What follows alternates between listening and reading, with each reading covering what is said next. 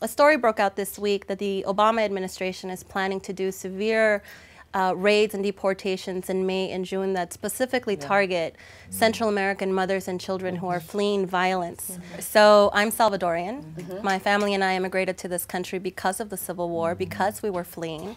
My father died in the war trying to, you know, protect our country and trying to fight a very unfair system that was getting a lot of public funding from let's you know American foreign policy, and mm -hmm. we have mm-hmm. three plus, mm -hmm. three presidents that were involved in that: mm -hmm. Carter, Reagan, and the first Bush. Mm-hmm. So when I hear these stories about my mom and my not, my mom and my not, and myself actually leaving our country, we didn't leave because we wanted to leave. We left right. because we were forced to. Right. Yeah. And when we think about these women and children who are also fleeing violence in what is now the murder rate capital in the world, where murder is more than 6,000 people per 100 thousand.